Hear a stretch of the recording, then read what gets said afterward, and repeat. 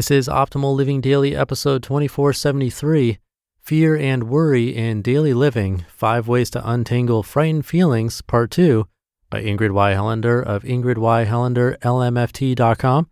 And I'm Justin Malik.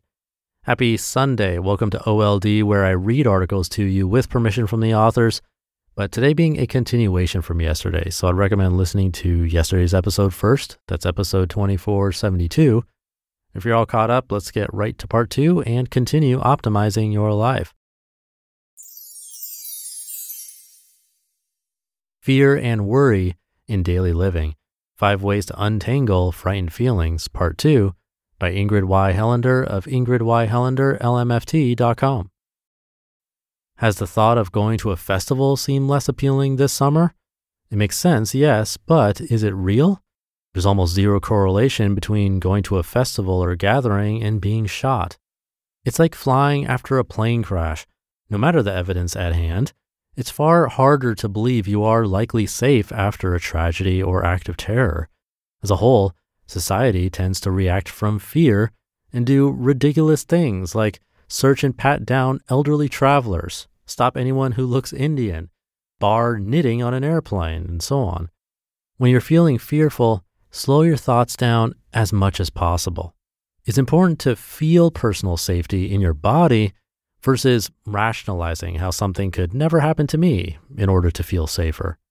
Unfortunately, this practice can inadvertently lead to blaming victims for being who or where they were. If you stuff your fear, your worry will create false walls between yourself and your community. Ultimately, this pseudo safety creates more fear and worry. Number three, comfort your fears. When we feel immediate fear, the most natural thing to do is try to quickly push it away. Unfortunately, this practice tends to increase our fear and create more worry. Here's a great way to handle a fear after any potential imminent danger has passed. I often learn the most profound insights from my toddler granddaughter. Last week, after my nightmare in which I was being chased and was very frightened, I woke with a start. My heart was pounding and I could feel the fear in my chest. As I took a deep breath and realized I was in my own safe bed, I heard my granddaughter's voice, Hold you. She'd actually been saying this to me throughout the previous weekend. Reaching her little hands up to be lifted, oblivious of pronouns, she would request me to hold her. No amount of backache could ever make me say no, and what a gift. As I heard her little voice in my head that night, I envisioned holding her and also holding the part of me that was feeling such fear. I could feel the calm settle in my body. I am safe. I've got you. Hold you.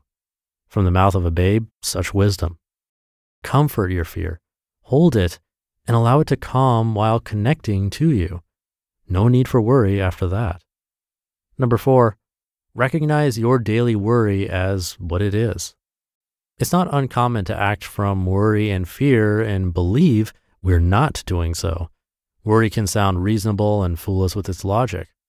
Although paying attention to urgent, anxious, or worried feelings can feel daunting, being aware when worry and deeper fear is your motivation can create the clear headedness needed in this complex world.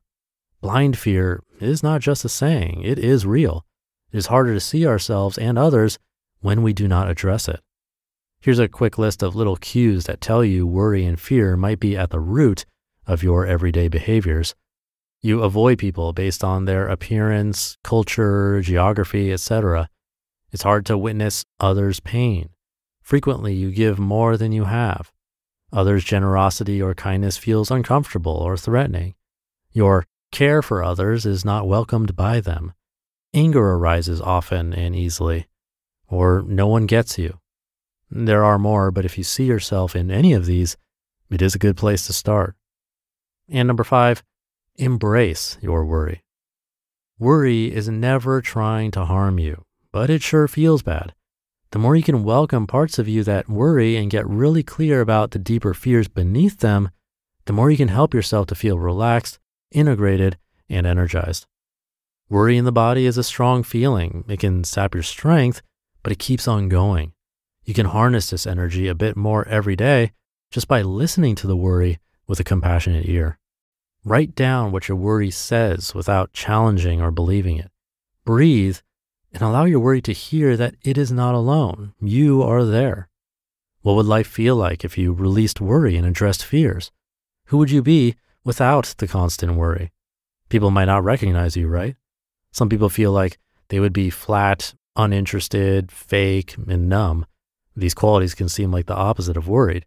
But here's the truth there's a whole world of feeling you may have when worry is not in charge of you. You can be interesting and think critically, take risks, and care about life. The opposite of worry is not blandness, it is freedom, vulnerability, connection, and bravery. Where will your curiosity about your fears and worries lead you this week? When you do your emotional work from the inside out, you'll have far more options for being in the world outside. Yes, the world is full of fear, but there's so much goodness just waiting for us to show up. How will you show up this week?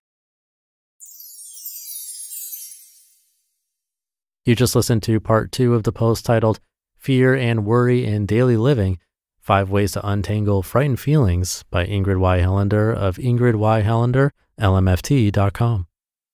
Thank you again to Ingrid for this one. I can say that I don't fully have a grasp on this myself, and that's okay. We have varying levels of fear and worry, and I'd say different seasons of life where fears and worries go up and down all together. And that's fine. We're never going to eliminate these things. That's not the goal. But understanding when we're feeling it and why can go a long way.